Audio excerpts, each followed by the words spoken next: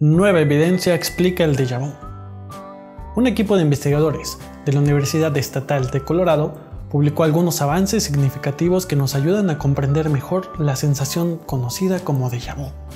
El déjà vu es la sensación de que ya has estado en algún lugar, que ya has experimentado un sentimiento específico respecto a algo, o que ya has pasado por una situación y la estás repitiendo.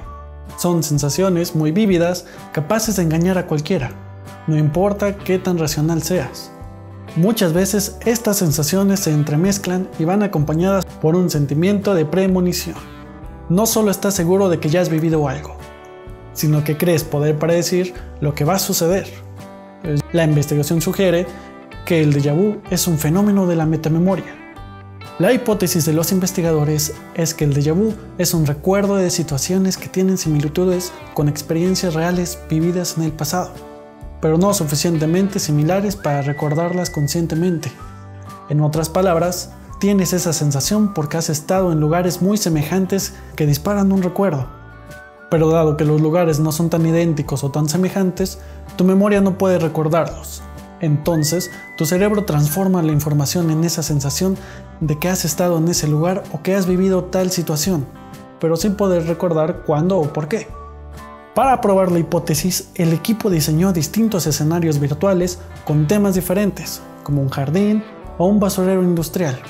Algunos de ellos eran estructuralmente similares y otros no. Se descubrió que cuando los sujetos de estudio estaban inmersos en los escenarios con similitudes estructurales, reportaban tener experiencias de déjà vu. De acuerdo con la investigación, tanto el fenómeno de tener una palabra en la punta de la lengua sin poder recordarla como el déjà vu, no son ejemplos de una falla en la Matrix, sino quizás solo de la metamemoria.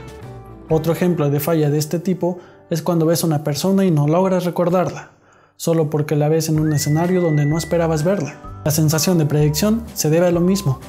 Para probarlo, se les pidió a los participantes que reportaban tener déjà vu que también dijeran si tenían la sensación de poder predecir lo que podrían encontrar en el escenario virtual.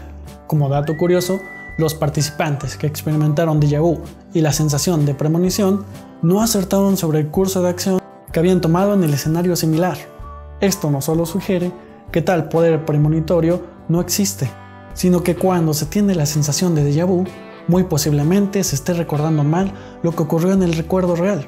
Sí, en ningún sentido hubo un error en la Matrix. Solo te engañan tus sentidos y tu memoria. Pero no te sientas mal, el equipo de investigadores reportó que incluso compañeros científicos ya les habían pedido hacer experimentos de este tipo para llegar a una explicación racional de esta sensación.